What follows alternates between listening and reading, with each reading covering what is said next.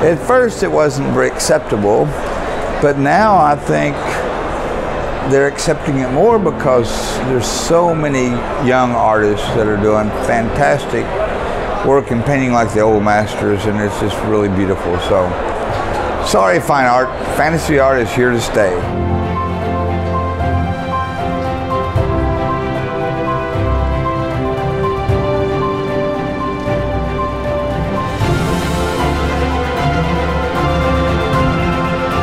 Uh, there's many reasons why I like to come to Lucca to this convention.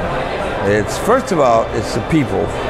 Uh, not only the people, the staff that's putting it on are fantastic. It's so much fun, and there's so much to see. I'm usually stuck in my booth and I can't see what I'd like to, so everyone should come and take a look. It's really fantastic.